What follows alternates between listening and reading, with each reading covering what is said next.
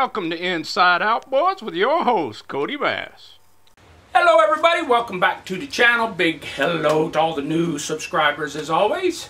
And thank you for subscribing. Um, if you're just passing through, uh, hit that subscribe button. I think uh, you'll enjoy the channel. We have a lot of fun up in here.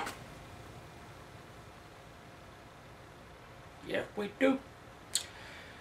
Well, um, I got a lot to go over in this here vid. Have some questions, folks looking for parts, and there was some parts. They asked for the parts. So I got to get some clarification on a situation you'll understand. So, um, we're going to be uh, doing quite a few things. Um, seeing some pretty neat stuff this video. So stick around and watch. Don't blink, you miss it. But um, I had a subscriber inquiring about a tiller handle for a, I think he's, I can't remember what he said.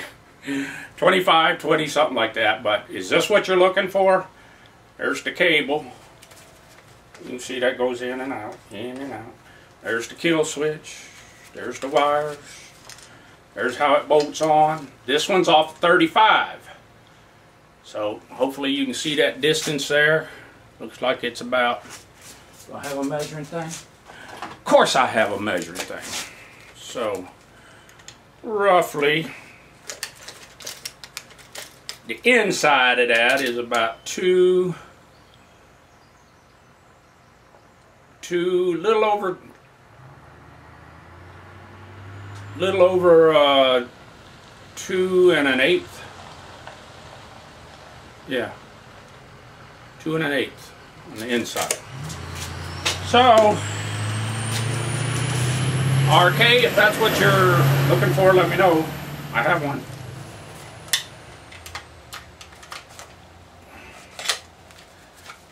There's that one. So, don't know if it'll fit what you got, but there it is. Alright, the other one, I can't remember. The subscriber asked me if I had a hood latch. Course I have some hood latches. Is that what you're looking for? There's a couple styles. This is the 80s kind of style. If that's what you're looking for. I got it. If you're looking for the other kind that came like on the older 25 that pushes up from the bottom, I have those. So let me know if that's what you're looking for. Okay, then I had um, hopefully a subscriber uh, sent me a comment that he was looking through his uh, manuals and he has a 1988 20 horsepower Johnson, I think he said. And he said his manual said to set the gap at 40.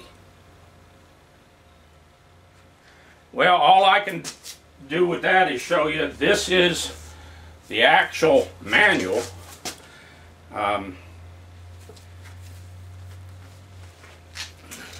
1988, hopefully you can see that. Um, Johnson Evinrude. And I went to the and this is out of the, a box set shop manual for the 88 motor. I have all the manuals, um, all the way up through the into the E-TECs. Um, but here's the recommended. Hopefully you can see. Let me get back here. Um, somewhere right in there. My camera lens is smudged. But,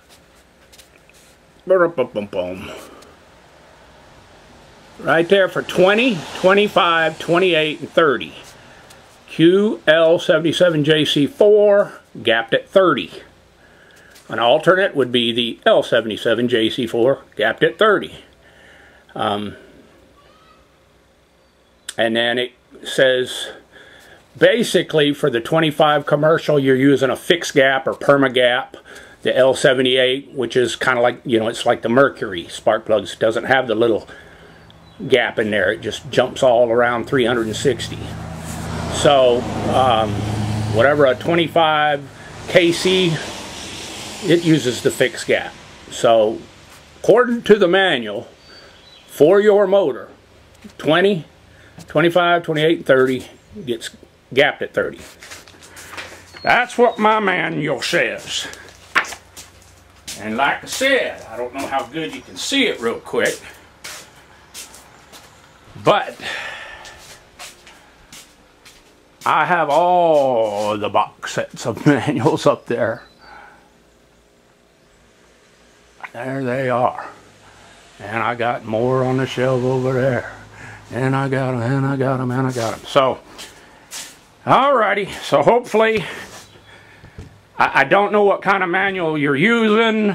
Um, but the manual I got for your motor calls for 30 that I can see. Um, now, um, as some of you might have uh, saw in the news or whatever, we had an earthquake, a quaker, a shaker. And uh, I'm going to show you a little bit of this video. Here we go. What you're hearing is the tsunami alarms. They're telling us to evacuate our houses and get to higher ground, so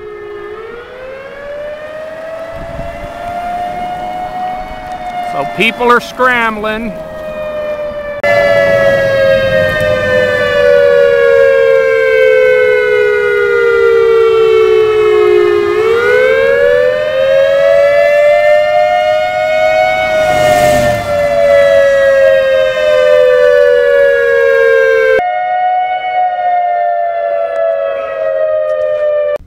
Here is uh, Mike West is a seismologist and director at the Alaska Earthquake Center. Um, and here's what he had to say about the earthquake in Chignik.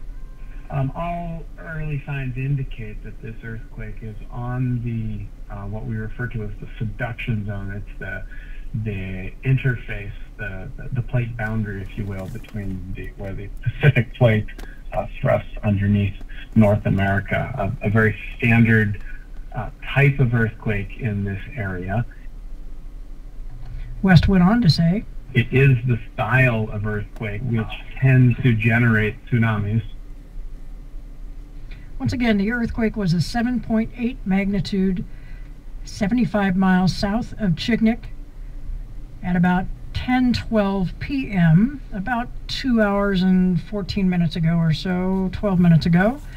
Um, and we are still currently under a tsunami warning here in the Kodiak Island archipelago and much of the Kodiak Island borough, including the Katmai Coast area, is also under a tsunami warning. Well, one last shot of the house in case it uh, gets washed away. Don't get me wrong, I, I'm not making, I'm not poking fun at this. It- you know, it is a serious thing. Um, I'm at, like I said, 72 feet. And I've got my boat bag right here in the truck. It has two or three handheld GPSs. So I'm gonna ride on up around the town, see what's going on.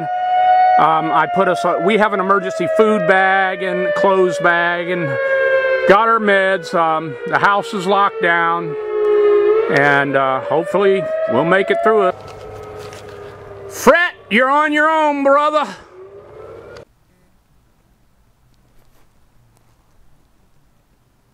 All right. Um, been just busy as they come doing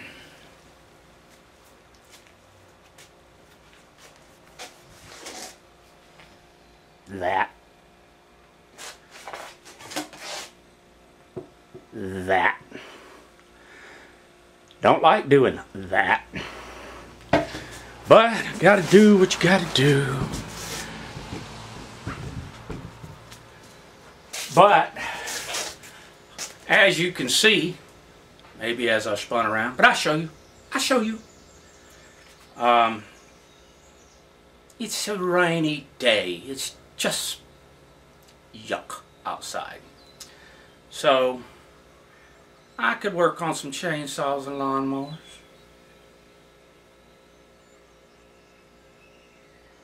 But this. Hey, the weather done went to outside. So instead of dragging another outboard in the shop, I think I feel like putting on some rain gear, putting on some heavy weather gear, and going out and looking at some nice boats, some old boats, some new boats, some who knew boats. That's what I want to do. You want to do it too? You want to come with me? Let's go. Pretty neat looking old pop rivet boat I came across. I'm guessing aluminum and M&M.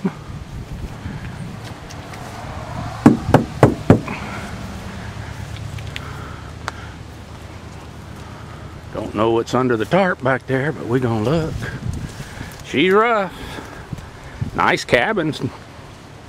My camera gets a little drippily. I'm sorry, it's raining. I want to know what outboard's under there. It's probably like an 88. Ooh. Yeah, it's an old V4, I think. Yeah. Evinrude Johnson, Johnny Rude, what it really is. V4. Yeah, nice looking old boat though. Make sure I ain't zoom in. They used it for commercial fishing because it's got a commercial fishing number on it. ADF&G number. Place to get in out of the weather. I don't know what make it is. I can't see anything. Let me look around the back, see if I see a sticker or anything. No. It's got weeds growing up around the other side. I don't know who makes it. Some. I like the little porthole. Yeah, pretty old boat. Never been a big fan of pop rivet boats. They always seem to have a little leakage. And I don't see no name. It looks like an old bellboy or something.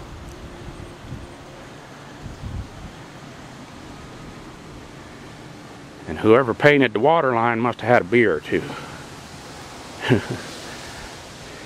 that could be made into a pretty old boat. Let me back off of it a little bit and see if I can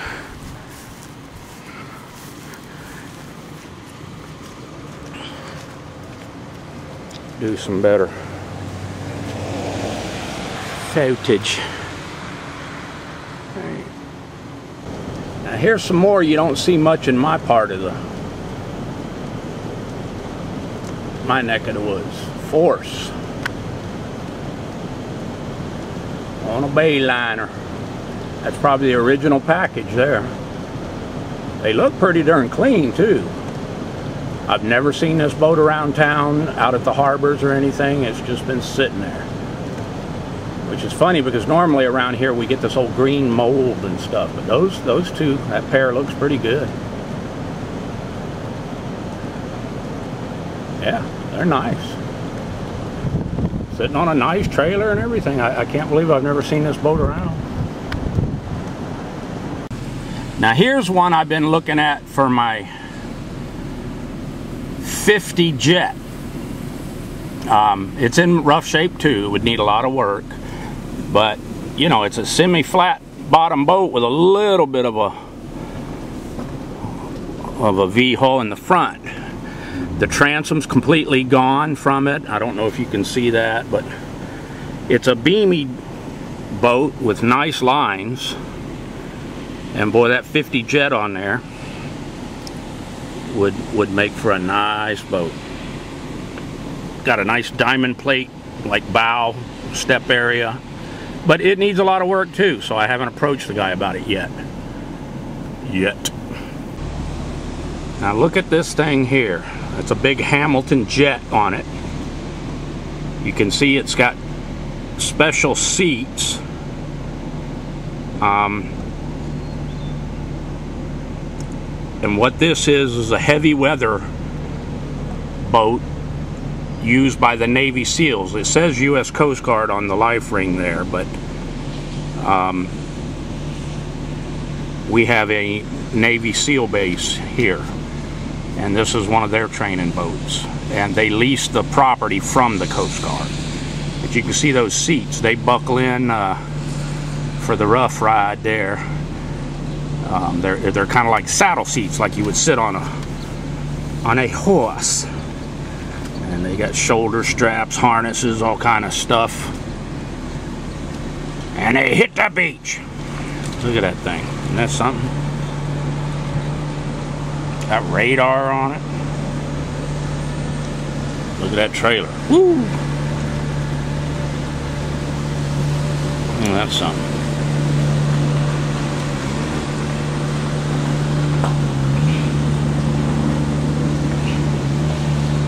Well, that's nice, isn't it? Look at them uh, chines under there and stuff. Nice boat. This is a nice little double ender. It's been sitting on that trailer for I don't know, over over five years that I know of. And they moved the trailer around, but I've never seen the uh, the boat off the trailer, and it's it's a beautiful little boat. Um, I would actually love to own that boat. I think my friend George knows who owns it. He has. He said it has a little um, three-cylinder Perkins diesel in it. Um, if, I, if, if I'm remembering it correct. Cute little boat. Very seaworthy little boats. But it just sits on that trailer. I don't know what's up with that. It's done well. Look at big, look at there. 425 V8s. 850 horsepower. That's what I'm talking about. Say Big Mama. Look what it says right below Big Mama.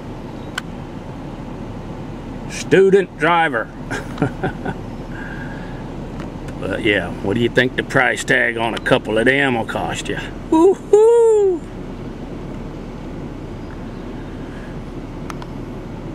Yes, sir. Uh, you cannot hide the money. Sure enough. Outboards in the air.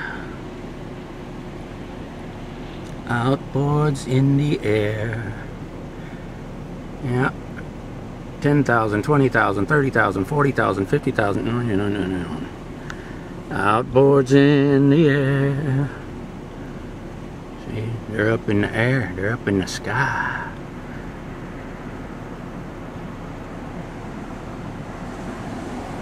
Ooh-wee! Okay, so I want to um, give you a little bit of a peep at what came in in the last couple days and what we're going to be doing. Let's go look.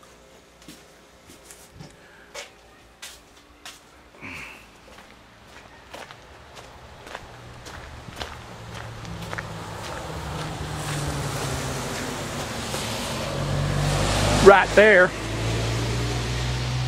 Can you see the transom bracket? Can you see what he did? He broke did it. So, woo, we're going down here. See, it's all broke did. Smush it did. Smush it did. He did a good job says he dropped the boat from a sling while trying to load it onto a barge. And if that ain't bad enough, oh dear.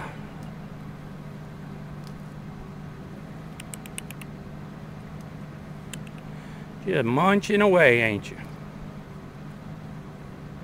Keeps looking over its shoulder. There's another one over there somewhere where's my brother or sister or mommy? Where's my brother or sister or mommy?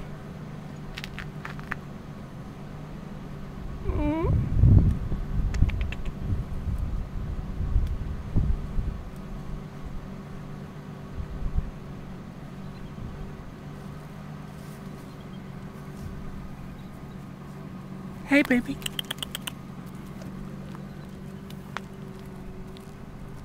Hurry up, get across the road. Go, go, go. Bolted to the back of the skiff.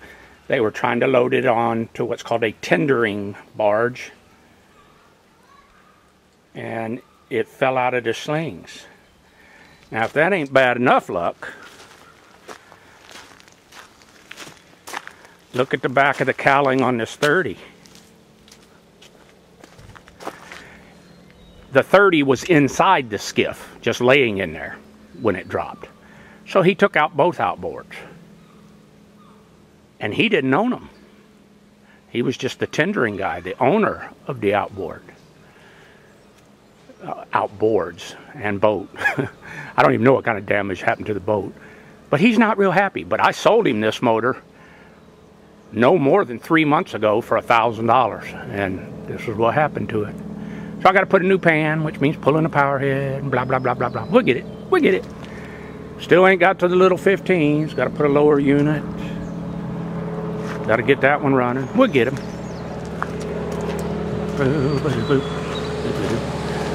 And lawnmowers and chainsaws.